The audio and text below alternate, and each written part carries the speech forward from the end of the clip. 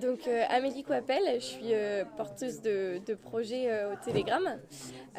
donc l'idée du projet au tout début, c'était de montrer en fait tous les illustres inconnus qu'on croise finalement au quotidien, parce qu'on voit des, des, bâtiments, du patrimoine, etc., qui a été construit par des gens dont on ne sait rien.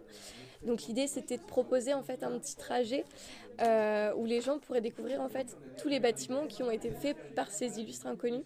Finalement, on est arrivé ici euh, vendredi matin, jeudi matin, pardon, euh, et c'était aussi euh, l'occasion de voir un peu les compétences de chacun.